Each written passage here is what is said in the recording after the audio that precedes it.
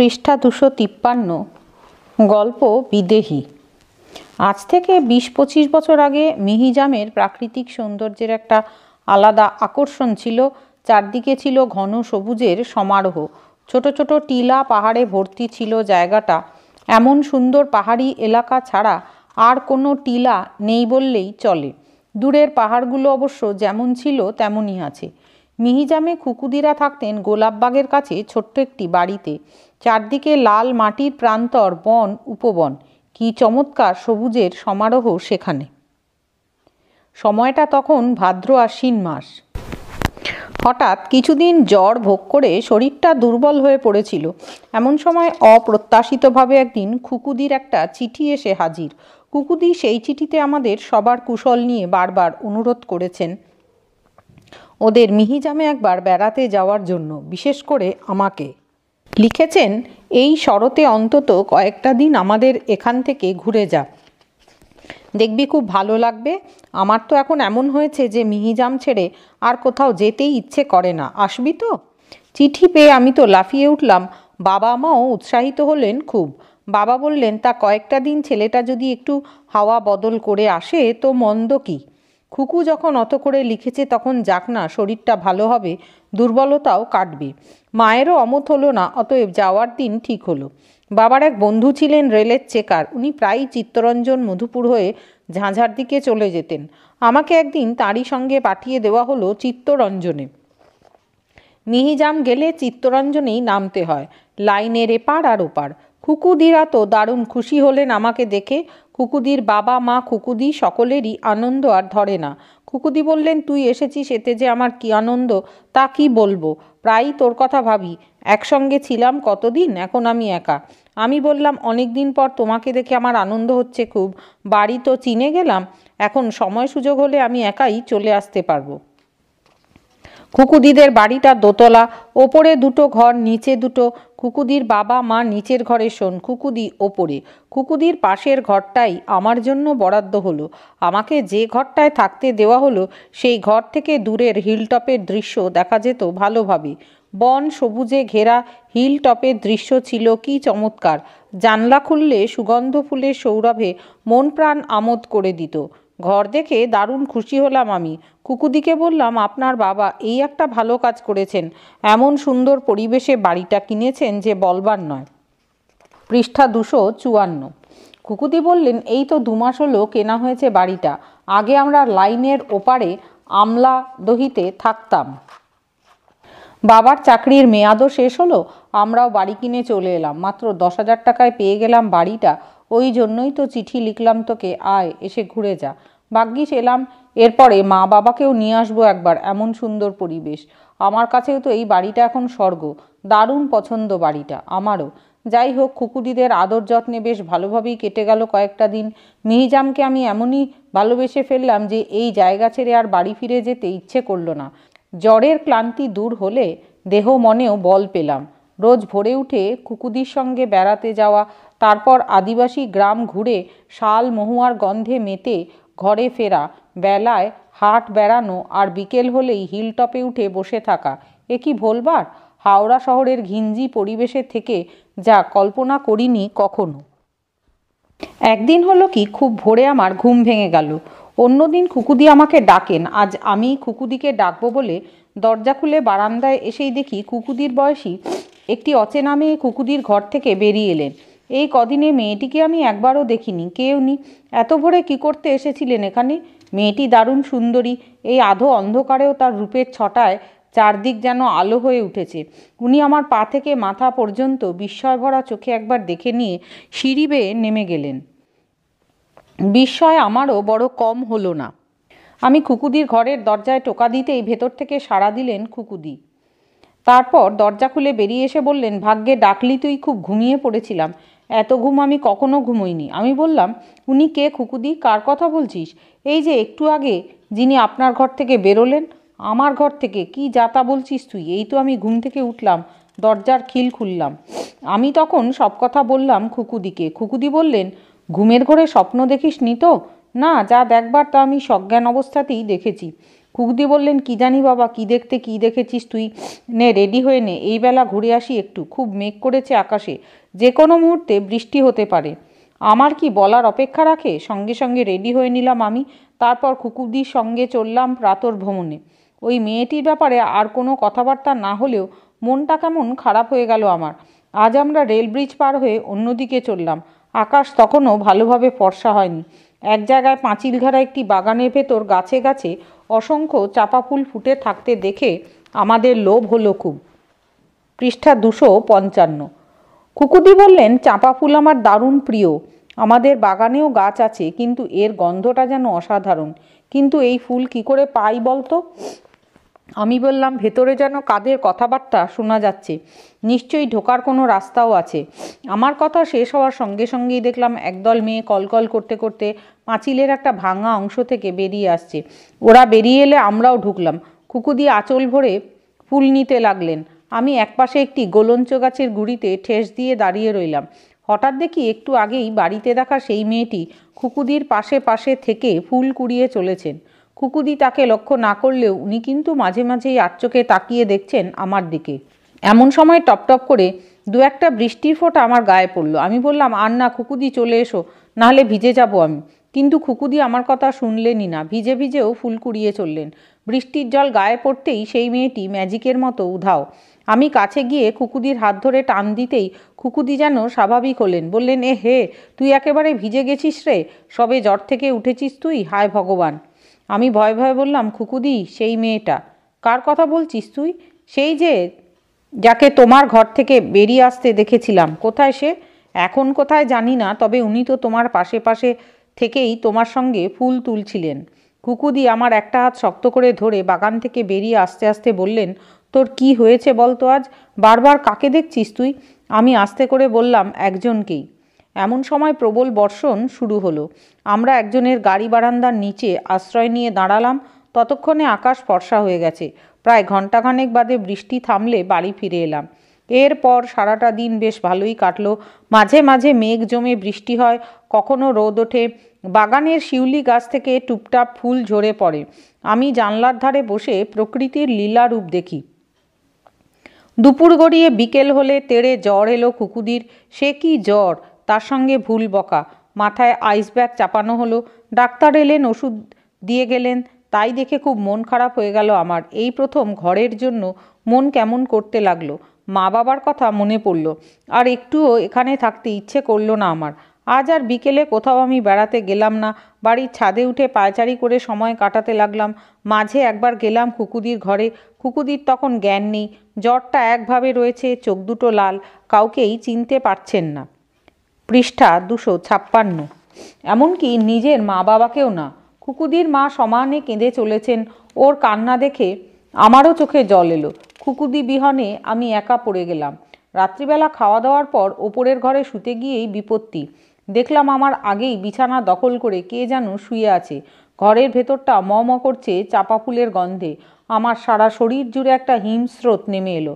আমি দারুণ ভয়ে চিৎকার করে ছুটে বেরিয়ে এলাম ঘর থেকে। সে রাতটা নিচের ঘরেই শুয়ে কাটলো আমার। এরপর সারা রাত আমি ভয়ে ঘুমোতে পারলাম না। আমার বিছানা দখল করে যিনি শুয়েছিলেন, তার কথা আমি কাউকে বলিনি, সেই তিনি। একই দিনে পরপর তিনবার যাকে দেখলাম। যাই হোক, সকাল হতেই একজন লোককে দিয়ে আমাকে বাড়ি পাঠানোর ব্যবস্থা হলো।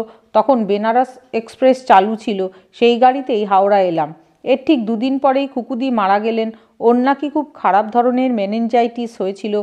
পরে অবশ্য বাবার মুখে শুনেছিলাম, খুকুদির বাবা যে ভদ্রলোকের কাছ থেকে ওই বাড়িটা কিনেছিলেন, তারও একমাত্র মেয়ে ওই রোগেই মারা যান।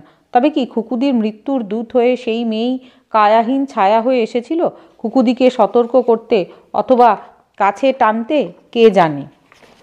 গল্প বিদেহী এখানেই শেষ হলো।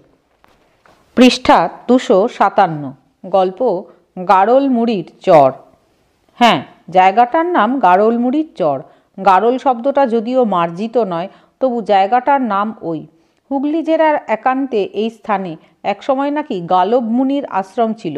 সেই গালব মুনির নাম থেকেই গালব মুড়ি এবং তারই অপভ্রংশ গাড়ল মুড়ি তাই গাড়ল মুড়ির চর বা শ্মশানের কুখ্যাতি নতুন নয়। রাতভিত ভুলেও কেউ যায় না ও পথে। তবু একবার কি একটা কাজে বোধহয় কিছু সওদা করতেই চোপার আব্দুল হামিদকে জৌ গ্রামে যেতে হয়েছিল।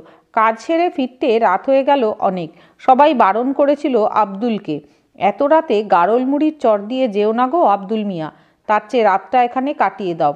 কাল বরং ভোর ভোর রওনা হবে। পথে লোকও পাবে অনেক। তা আব্দুলের ছিল কাজের তারা সে বলল, সে হয় না গো, যা আছে কপালে। এই রাতেই আমাকে যেতে হবে। এই বলে আল্লাহর নাম স্মরণ করে রওনা হলো আব্দুল। সওদার মাল গরুর গাড়িতে বোঝাই করে ধীর গতিতে গাড়ি নিয়ে মেঠো পথে চোপার দিকে চলল আব্দুল। বিশ্বস্ত গরু এ পথে অনেকবার গেছে, এসেছে, আর পথও একটাই। কাজেই ভুল হওয়ার কিছু নেই। আব্দুল দিব্যি গরুর গাড়িতে আধশোয়া হয়ে ঘুমোতে ঘুমোতে চলল। আসমানের চাঁদ পূর্ণিমা পক্ষে জ্যোৎস্নায় হাসছে। চারদিকে স্নিগ্ধ জ্যোৎস্না ফিনফিন করছে যেন মৃদুমন্দ বাতাস বইছে। হঠাৎ এক জায়গায় এসে গাড়ি আর নড়ে না। আব্দুল ওই অবস্থাতেই মুখে বিচিত্র শব্দ করল, হুর, হ্যাট হ্যাট, হিত্তা মারি, কিটি হেই। কিন্তু কিছুতেই কিছু হলো না। আব্দুল এবার সজাগ হয়ে উঠে বসল। তারপর যা দেখল, তাতেই তো চক্ষু স্থির। দেখল কখন যেন গাড়িটা গড়িয়ে গড়িয়ে গাড়লমুড়ির চরে এসে পৌঁছে গেছে। ডান দিকে শ্মশান। শ্মশানের বিশাল বটগাছের একটা ডাল রাস্তার ওপর ঝুঁকে পড়েছে আর সেই ডাল ধরে কলরব করে দোল খাচ্ছে অসংখ্য শিশুর মেলা। তারা কেউ আব্দুলের দিকে তাকিয়েও দেখছে না। হুটোপাটি ছুটোছুটি করে এমনভাবে ছড়িয়ে রয়েছে সেখানে যে কোনো মতেই তাদের অতিক্রম করে গরুর গাড়িকে চালিয়ে নিয়ে যাওয়া যায় না। শ্মশানের যে প্রান্তে মৃত শিশুদের মাটি চাপা দেওয়া হয়, সেখান থেকে পিঁপড়ের শাড়ির মতো শিশুর দল পিলপিল করে বেরিয়ে আসছে। কেউ বা খেলাধুলো করছে, আবার কেউ বা ছুটে গিয়ে আবার সেই মাটির বুকে মিলিয়ে যাচ্ছে। এই দৃশ্য দেখে তো ভয়ে বুক শুকিয়ে গেল আব্দুলের। সে তখন গাড়িতে বসেই করজোরে আল্লাহর কাছে প্রার্থনা জানিয়ে সেখানকার শ্মশানকালীকে ডাকতে লাগল, মা, পৃষ্ঠা দুশো আটান্ন। মাগো, আমি যেতে মোছলমাল তুই হিঁদুর দেবী, তোর কাছে কি জেতের বিচার আছে? আমিও তোর এক অধম সন্তান তোর শিশুদের তুই সামাল দে, আমাকে রক্ষা কর মা। আব্দুল কতক্ষণ এইভাবে ডেকেছিল কে জানে হঠাৎ একসময় শুনতে পেল, শ্মশানের ভেতর থেকে নারীকণ্ঠে কে যেন ডাকলো, আয়। ডাকার সঙ্গে সঙ্গেই সেই শিশুর দল খেলা ফেলে ছুটে ঢুকলো শ্মশানে। তারপর আধো আলো, আধো অন্ধকারে মাটির বুকে মিলিয়ে গেল। আব্দুল দুহাত জোর করে শ্মশানকালীর উদ্দেশ্যে প্রণাম করে আবার ফিরে চলল নিজের গ্রামে। এই অলৌকিক ঘটনার কথা সে কখনো ভুলবে না, আর ভুলবে না এখানকার শ্মশানকালীকে। তাই যাতে মুসলমান হয়েও এক ভর্তি অমাবস্যায় গারলমুড়ি শ্মশানকালীকে সে ডালা সাজিয়ে পুজো এনে দিয়েছিল আর বৎসরান্তে ধান বেচার টাকায় বাঁধিয়ে দিয়েছিল মায়ের মন্দিরের চাতাল। গল্প গারলমুড়ির চর এখানেই শেষ হলো। পৃষ্ঠা দুশো উনষাট, গল্প নিরাকারের কাহিনী। বেশ কয়েক বছর আগে বর্ষাকালে বর্ধমান জেলার বলগনার কাছে এক গ্রামে গিয়েছিলাম। উপলক্ষ ছিল বিয়ে বাড়ি, বন্ধুর বোনের বিয়ে। এত দূর বলে কেউই যেতে রাজি হয়নি, রাজি না হওয়ার কারণও ছিল। একে বর্ষাকাল, তাই যাতায়াতের অসুবিধে। যে সময়কার কথা বলছি তখন এত উন্নত মানের রাস্তাঘাট বা যানবাহনের সুবিধে হয়নি। তার উপরে গ্রামে বিয়েবাড়িতে লোকজনের আধিক্যের জন্য থাকারও অসুবিধে হতে পারে। তাই অনেকেই যাবে স্থির করেও যেতে রাজি হলো না শেষ পর্যন্ত। কিন্তু একেবারেই কেউ না গেলে তো খারাপ দেখায়। তাই আমি আর বলাই নামে আমাদের এক বন্ধু চললাম নিমন্ত্রণ রক্ষা করতে। সকালে ঘুম থেকে উঠে প্রথমেই এলাম হাওড়া স্টেশনে। সেখান থেকে লোকাল ট্রেনে বর্ধমান। বর্ধমানে সর্বমঙ্গলা দর্শন করে একটা হোটেলে খাওয়া দাওয়ার পাট চুকিয়ে দুপুরের বাসে বলগনা। বলগনায় বাস থেকে নেমে যে গ্রামে আমরা যাব, সেই গ্রামের দূরত্ব হচ্ছে সাত মাইল। এ পথে যাতায়াতের জন্য একমাত্র গরুর গাড়িই ভরসা। নয়তো আচমকা গিয়ে পাওয়া যায় না। এ তো রিক্সা নয় যে ভাড়া কাটার জন্য লাইন দিয়ে দাঁড়িয়ে থাকবে। যাই হোক, আমরা যখন বলগনার মোড়ে বাস থেকে নামলাম, তখন বেলা গড়িয়ে সন্ধ্যা হয় হয়, আকাশ ঘন মেঘে ঢাকা। মেঘের মূর্তি এমনই যে এই নামে বুঝি। তাই কি যে করব কিছু ভেবে পেলাম না। বলাই বলল এখনও ভেবে দেখ যাবি কি না। আকাশের যা অবস্থা, তাতে আমার মনে হয় আর না গিয়ে এখান থেকেই কেটে পড়ি চল। এই অচেনা জায়গায় পথে কোনো লোকজন নেই, সন্ধে হয়ে আসছে, কাদার পথ, আর এগোলে দুর্ভোগের শেষ থাকবে না। কথাটা ঠিক, তবে কিনা সত্যি সত্যিই কি এত দূরে এসে দুর্যোগের ভয়ে ফিরে যাওয়া যায়? তাই বললাম, তাতে কি বর্ষাকালে বৃষ্টি হবেই। সব জেনেই তো ঘর থেকে বেরিয়েছি। এখন ভয়ে পিছলে কি করে হবে? অতএব আর দেরি না করে রওনা দিই, চল। চল তো চল। একটা দোকানে শেষবারের মতো দুজনে দু কাপ চা খেয়ে চলা শুরু করলাম। আগের বৃষ্টির কাদা এখনও শুকোয়নি। তার ওপর আকাশে এই মেঘের ঘন ঘটা। কী যে কপালে আছে, কে জানে? আমরা নিজেদের মধ্যেই কথা বলতে বলতে পথ চলা শুরু করলাম। লোকালয় ছেড়ে যখন আমরা ফাঁকা মাঠের মাঝখানে এসেছি, তখনই শুরু হলো বৃষ্টিপাত। প্রথমে বড় বড় ফোঁটা, তারপরই মুসলধারায় ছাতা মানল না। সেই দারুণ বৃষ্টিতে স্নান করে গেলাম দুজনে। বলাই বলল, আমরা বোধহয় দু মাইল পথও আসিনি। এখনই কত পথ বাকি? পৃষ্ঠা দুশো ষাট। কী করে যাব রে ভাই? আমিও তখন চুপসে গেছি। বললাম, তাই তো রে। বলগনাতে বলে কয়ে কারও বাড়িতে থেকে গেলেই হতো। এখন তো দেখছি আর এগোনোই যাচ্ছে না। শুধু যে বৃষ্টি তা নয়, সেই সঙ্গে কড়কড় করে বাজ পড়ার শব্দ। সন্ধ্যার ঘন অন্ধকার এবং মেঘের কালিমায় এক হাত দূরের পথও দেখা যাচ্ছে না। কালো কুটিল যাকে বলে তাই। পথে এমন কোনো জনমানুষ নেই যার কাছে একটু আশ্রয় প্রার্থনা করি বা পথ নির্দেশ পাই। সে যে কি বিপজ্জনক পরিস্থিতি তা বলে বোঝানো যাবে না। এইভাবে জলে কাদায় টালমাটাল হতে হতে কিছু দূর যাওয়ার পর হঠাৎ একসময় মনে হলো আমাদের পিছু পিছু কেউ যেন আসছে। কে আসে? এই অন্ধকার নির্জন রাতে কেও কেমন এক অশরীরী আতঙ্কে বুকের ভেতরটা ধরাস করে উঠল। আমরা দুজনেই ভয় পেয়ে থমকে দাঁড়ালাম। অমনি শুনতে পেলাম, এ পথে নতুন মনে হচ্ছে? আমি বললাম হ্যাঁ একেবারেই নতুন। আসা হচ্ছে কোথা থেকে? আমরা কলকাতা থেকে আসছি। যাওয়া হবে কোথায়? আমরা গ্রামের নাম বললাম। বলার সঙ্গে সঙ্গে একটি বজ্রপাত আর সেই সঙ্গে বিদ্যুতের চমক। তারই ক্ষণপ্রভায় মুহূর্তের জন্য দেখলাম লোকটিকে। কালো বর্ষাতিতে ঢাকা দীর্ঘ উন্নত বলিষ্ঠ চেহারা। গায়ের রং এত কালো যে ছাতার কাপড়কে হার মানায়। ভদ্রলোক বললেন, ওরে বাবা, ও তো অনেক দূর। এই দুর্যোগে যাবেন কি করে? তাই তো ভাবছি। লগনসার বাজার বিয়ে বাড়ি বুঝি? আজ্ঞে হ্যাঁ আমাদের বন্ধুর বোনের বিয়ে। তা ওরা একটা গরুর গাড়ির ব্যবস্থা করে রাখেননি কেন?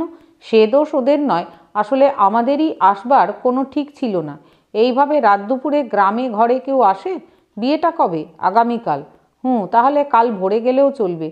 কিন্তু আজকের রাত্রিটা কাটাই কোথায় বলুন তো?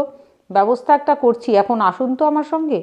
আমি বলাইয়ের দিকে তাকালাম, বলাই আমার দিকে, যা আছে কপালে, আর যখন এগোনো সম্ভব নয়, তখন এর আশ্রয় কিছুতেই ছাড়া নয়।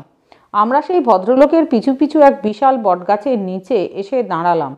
তারপর বাঁধা রাস্তার ঢাল বেয়ে ছোট্ট একটি গ্রামে। মাটির দেওয়াল, খড়ের চাল ঘন বসতির গ্রাম। গোয়ালে গরুর চোখ জ্বলছে, বৃষ্টিও সমানে চলছে। ভদ্রলোক একটি মেটে ঘরের দরজা খুলে আমাদের ঢুকতে বললেন, তারপর বললেন, একটু বসুন, এখনই আলোর ব্যবস্থা হচ্ছে। পৃষ্ঠা দুশো একষট্টি। আমরা ভিজে পোশাকে এই কাদামাখা পা নিয়ে ঘরের ভেতর ঢুকলাম। তারপর অন্ধকারে হাতরে একটি তক্তাপোষ পেয়ে তাতে পা ঝুলিয়ে বসলাম।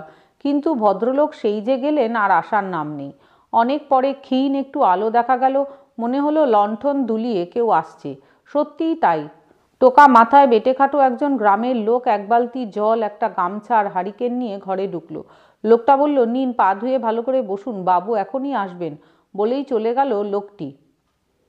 ঘরের সামনে দাওয়া ছিল, আমরা সেখানে পা ধুয়ে কিটব্যাগ থেকে শুকনো জামা কাপড় বের করে নিলাম, তারপর আলোটা একটা টেবিলের ওপর রেখে তক্তাপোষের বিছানায় বসলাম গুছিয়ে। এই ভয়ঙ্কর দুর্যোগের রাতে এমন একটি আশ্রয় প্রত্যাশারও বাইরে। অনেক পরে ভদ্রলোক এলেন সঙ্গে সেই লোকটি। হাতে বাটি ভর্তি মুড়ি আর গরম তেলে ভাজা। লোকটির হাতে চা। ভদ্রলোক বললেন, আপনাদের অনেকক্ষণ বসিয়ে রাখলাম ভাই, কিছু মনে করবেন না। আসলে ঘরে কেরোসিন এক ফোঁটাও ছিল না, জোগাড় করতে দেরি হয়ে গেল। বলাই বলল, কিন্তু এই দুর্যোগের গরম তেলে ভাজা আপনি পেলেন কোথায়? কেন? ঘরেই ভাজা হলো কুমড়ো, পোস্ত আর বেসন। বর্ষাকালে গ্রামের মানুষদের ঘরে সবসময়ই মজুদ থাকে। যাক, জুড়িয়ে যাওয়ার আগে খেয়ে নিন। আমরা বিনা বাক্যব্যয় খেতে লাগলাম। ভদ্রলোক বললেন, আশা করি আমার এই ঘরে রাত কাটাতে আপনাদের কোনো অসুবিধে হবে না। কাল খুব ভোরে বৃষ্টি থামুক আর না থামুক, আপনাদের রওনা করিয়ে দেব। এই জনাই গরুর গাড়িতে করে এগিয়ে দেবে আপনাদের আমি বললাম, তাহলে তো খুব ভালো হয় কথা বলতে বলতেই ভদ্রলোকের মুখের দিকে তাকালাম আমরা। এমন মিষ্টি কথার লোক, অথচ চেহারা দেখলে মনে হয় কি রাশভারী বুকের ভেতরটা কেমন যেন ছ্যাঁত করে ওঠে। ভদ্রলোক বললেন, বৃষ্টি কমলে আজ রাত্রেই পাঠাতাম আপনাদের, তবে কিনা এসব জায়গা তো ভালো নয়, তাই কাল ভোরেই যাবেন। আমি বললাম, ভোরে যাওয়াই ভালো, কেননা আমার আবার ভূতের ভয় খুব। এই গ্রামে অন্ধকার রাতে পথের মাঝখানে যদি কেউ দেখা দেন, তাহলেই তো গেছি। ভদ্রলোক হেসে বললেন, আপনি ভূত বিশ্বাস করেন? আমিও করি। আগে করতাম না, এখন করি। আর সেই জন্যই তো পথে ঘাটে যাতে কারও পাল্লায় না পড়েন, তাই টেনে আনলাম এখানে। বলাই বলল, ঠিকই করেছেন। ওই যে আপনি বললেন, আগে ভূতে বিশ্বাস করতেন না, এখন করেন, এর মানেটা কি? সেরকম কোনো অভিজ্ঞতা আপনার হয়েছিল? ভদ্রলোক একটু সময় চুপ করে রইলেন, তারপর বললেন, হয়েছিল বই কি? আমার জীবনে ভূত দেখার অভিজ্ঞতা যা ঘটেছে, তা শুনলে ভয় পেয়ে যাবেন। আমি বললাম, তবু শুনিই না, এই বর্ষার রাতে তেলে ভাজা মুড়ির সঙ্গে ভূতের গল্প ভালোই জমবে। পৃষ্ঠা দুশো বাষট্টি। ভদ্রলোক আমাদের দুজনের দিকেই একবার ভালো করে তাকিয়ে বললেন, ওই যে দেওয়ালে ছবিটা ঝুলছে, ওই ছবিটা কার বলুন দেখি? এতক্ষণ লক্ষ্য করিনি, এবার ভালো করে তাকিয়ে দেখে বললাম, একজন দারোগার। ওই দারোগার সঙ্গে আমার চেহারা মেলে? দুজনেই বিস্ময় প্রকাশ করে বললাম, আরে তাই তো, এ তো আপনারই ছবি দেখছি। হ্যাঁ আমারই ছবি, তবে যৌবনের। আমরা দুজন ভদ্রলোকের মুখের দিকে চেয়ে রইলাম, চমকপ্রদ কিছু শোনার আশায়। ভদ্রলোক বলতে শুরু করলেন তিনি যা বললেন তা এইরকম আমার নাম জলধর দত্ত, জলভরা মেঘের মতোই চেহারা আমার। আমায় দেখলে অনেক খুনের আসামিরও বুকের রক্ত জল হয়ে যেত। কাল ভোরে যে গ্রামের দিকে রওনা হবেন আপনারা অনেক দিন আগে সেই গ্রামের একটি ঘটনার কথা আপনাদের বলব। আমি তখন এই অঞ্চলে নতুন এসেছি। একদিন সন্ধ্যাবেলা থানায় বসে এক প্রবীণ ভদ্রলোকের সঙ্গে গল্প করছি। এমন সময় দুজন লোক এসে খবর দিল, ওদের গ্রামে বিষয় সম্পত্তির ব্যাপার নিয়ে দু ভাই নাকি নিজেদের মধ্যে মারামারি করে অবশেষে দুজনেই আত্মঘাতী হয়েছে। শুনেই মেজাজটা গেল খারাপ হয়ে। এই ধরনের কেস এলে কোনো পুলিশ অফিসারই শান্তিরক্ষার দায় এড়াতে পারেন না। আদৌ এটা আত্মহত্যা? না, কেউ খুন করে ঘটনা সাজাচ্ছে? তাই বা কে বলতে পারে? অতএব যেতেই হলো। এইভাবে রাত দুপুরে যাওয়ার ব্যাপারে প্রবীণ ভদ্রলোক আমাকে অনেক বাধা দিলেন। বললেন, গেলে কাল সকালে যাবেন। এই রাত দুপুরে কখনো না। একে এই সমস্ত অঞ্চল ভালো নয়, তার ওপর আপনি পুলিশের লোক। কার মনে কি আছে কে জানে? আমি তার কথা না শুনেই রওনা দিলাম। বললাম, পুলিশের লোকের প্রাণের ভয় থাকলে কি চাকরি করা চলে? তাছাড়া আমার নাম জলধর। জল ভরা মেঘ আমি। কেউ কিছু করতে এলে ভাসিয়ে দেবো তাকে। এই বলে আমার কনস্টেবল জনাকে নিয়ে ওদেরই গরুর গাড়িতে চেপে রওনা হলাম ওদের সঙ্গে। তখন গ্রীষ্মকাল, তাই পথযাত্রায় কোনো অসুবিধে হলো না। যাই হোক, গ্রামে পৌঁছতে রাত অনেক হয়ে গেল। গিয়ে দেখলাম ছেলে মেয়ে বৃদ্ধ বৃদ্ধার একটি দল একটি ঘরের সামনে ভিড় করে আছে। আমি গিয়ে ঘরের শিকল খুলে ভেতরে তাকিয়ে শিউরে উঠলাম। রক্ত মাখা দুটো দেহ ঘরের ভেতর গলায় দড়ি দিয়ে ঝুলছে। লোক দুটোকে আমার খুবই চেনা বলে মনে হলো। কিন্তু কিছুতেই মনে করতে পারলাম না কোথায় এদের দেখেছি। যাই হোক, এই ধরনের লাশকে তো পোস্টমর্টেম করতেই হবে। তাই গ্রামবাসীদের সাহায্য নিয়ে লাশ দুটোকে নামিয়ে আরেকটি গরুর গাড়িতে চাপিয়ে আবার ফিরে আসার প্রস্তুতি নিলাম। ওদের পরিবারের দুজন লোককেও সঙ্গে নিলাম লাশের পাহারায়। ফিরে আসছি আর বারবার মনে করবার চেষ্টা করছি, কোথায় যেন দেখেছি লোক দুটোকে। পৃষ্ঠা দুশো তেষট্টি। এমন সময় জনা বলল, আমি কিন্তু চিনেছি বাবু, আমার খুব ভয় করছে। এই রাত দুপুরে না এলেই পারতেন। আমি বিস্মিত হয়ে বললাম, তুই চিনেছিস? এরা কারা? ভুলে যাচ্ছেন কেন? সন্ধেবেলা এরাই তো আমাদের থানা থেকে ডেকে আনলো। এইবার মনে পড়েছে, সত্যিই তো? কিন্তু এমন বিস্মরণ আমার কেন হলো? আমার মতন লোকেরও শির দ্বারায় তখন ঠান্ডা স্রোত বয়ে গেল একটা। লোক দুটোকে গরুর গাড়ির থেকে নামার পর আর তো দেখিনি। আমাদের এই চাপা কথাবার্তা গারোয়ানের কানে গেল কিনা কে জানে? হঠাৎ গাড়ির গতি থেমে গেল। বললাম, কি হলো? থামলে কেন? চালাও। একটু চা তেষ্টা পেয়েছে বাবু, গলাটা একটু ভিজিয়ে নি। এখানে চা কোথায় পাবে? এই ফাঁকা মাঠে এত রাত্রে? এখানেই তো চা পাবো বাবু, ওই দেখুন। চেয়ে দেখলাম দূরের একটা চালাঘরে টিম আলো জ্বলছে। গারোয়ান পেছনের গাড়ির লোক দুজনকে ডেকে নিয়ে চা খেতে গেল। যাওয়ার আগে বলল, আপনারা খাবেন না কি বাবু? বললাম, না, তোমরাই খাও। আর একটু তাড়াতাড়ি করো। ওরা চলে গেল। পরক্ষণেই যা দেখলাম তা সত্যিই ভয় পাওয়ার মতন। দেখলাম পেছনের গরুর গাড়ি থেকে সেই লাশ দুটো দড়ির বাঁধন খুলে দিব্যি উঠে ওদের সঙ্গে চা খেতে চলে গেল। সে গাড়িতে কোনো গাড়োয়ান ছিল না। এই গাড়ির সঙ্গে দড়ি দিয়ে বাঁধা ছিল সেটা। সে যাই হোক, ভয়ে আমাদের অন্তরাত্মা খাঁচা ছাড়া হওয়ার জোগাড় হলো। তখন আমি সবিস্ময়ে ভালো করে তাকিয়ে দেখলাম সেই দুজনই। দিব্যি হেসে হেসে গল্প করতে করতে চা খাচ্ছে। এই দৃশ্য দেখার পর আর গরুর গাড়িতে থাকা নয়। আমি ইশারায় জনাকে নামতে বলে নিজেও নামলাম। তারপর ওদের নজর এড়িয়ে ঊর্ধ্বশ্বাসে ছুটে চললাম মাঠের ওপর দিয়ে। একটু পরেই দেখি গরুর গাড়ি দুটো লরির গতিতে ছুটে আসছে আমাদের দিকে। গরু দুটোর চোখ জ্বলছে, কি ভয়ঙ্কর দৃশ্য। জলধরবাবু তার গল্প এই পর্যন্ত বলেছেন। এমন সময় জনা এলো ভাতের থালা হাতে। বলল, ওসব গল্প আর নয়, এখন খেয়ে নিন দেখি, নিয়ে শুয়ে পড়ুন তাড়াতাড়ি, কাল খুব ভোরে উঠতে হবে। বৃষ্টি তখন থেমে গেছে। আমরা জলধরবাবুকে বললাম, তারপর? জলধরবাবু বললেন, তারপর আর কি, নিন, খেয়ে নিন। ওই গল্প কাউকে বললে জনাটা খুব ভয় পায়। গল্প শুনে ভয় আমাদেরও যে পায়নি তা নয়, তবু কৌতূহল হচ্ছিল যাই হোক, আমরা চটপট খেয়ে নিয়ে শুয়ে পড়লাম। জলধরবাবু বললেন, আপনাদের ভয়ের কোনো কারণ নেই। জনা আপনাদের পাহারায় থাকবে, কোনো প্রয়োজন হলে ডাকবেন। বাইরেটায় থাকবে ও। পৃষ্ঠা দুশো চৌষট্টি। আমরা শুয়ে পড়লাম এবং সারাদিনের ক্লান্তির জেরে ঘুমিয়েও পড়লাম। পরদিন খুব ভোরে অন্ধকার থাকতেই জনা এসে ডেকে তুলল আমাদের জলধরবাবু এলেন। আমরা তার কাছ থেকে বিদায় নিয়ে জনার গরুর গাড়িতে চেপে রওনা হলাম গন্তব্যস্থলের দিকে। ভোরের আলো যখন আরও স্পষ্ট হয়ে আসছে, তখনই একটা গাছতলায় গাড়ি থামিয়ে জনা বলল, এইটুকু পথ এবার আপনাদের হেঁটেই যেতে হবে বাবু। ওই দেখা যাচ্ছে গ্রাম। ওই গ্রামে আমি আর যাব না। কেন যাবেন না তা জানি। আসলে ওই গ্রামের সেই অভিশপ্ত রাতকে আজও ভুলতে পারছে না ও। আমরা দুজনেই গাড়ি থেকে নেমে বললাম, বেশ তো, অসুবিধে থাকে, যেও না, এইটুকু পথ হেঁটেই চলে যাব আমরা। কিন্তু সেরাতে শেষ পর্যন্ত কী যে হলো, সেটুকু জানবার দরকার ছিল যে। জনা বলল, শুনলে ভয় পাবেন না তো? না, কাল রাতে জলধরবাবুর মুখে অত কিছু শুনেও কি ভয় পেলাম? সে রাতে আমরা ওদের হাতেই প্রাণ হারিয়েছিলাম।